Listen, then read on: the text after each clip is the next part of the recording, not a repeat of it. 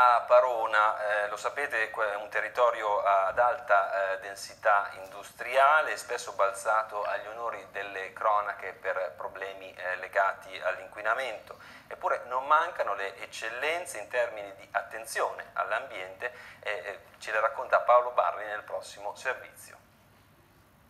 Si trova a Parona lo stabilimento per la produzione di vernici per legno più grande d'Europa e probabilmente del mondo. Si tratta della sede principale della IVM Chemicals, azienda nata a Bareggio con consociati in tutto il mondo. 15 ettari in cui si alternano numerosi capannoni che ospitano le varie fasi della lavorazione di vernici sia d'acqua che in resina. Un impianto all'avanguardia in cui lavorano circa 250 persone provenienti non solo dal nostro territorio ma anche da zone più lontane, fra operai, ricercatori e impiegati amministrativi.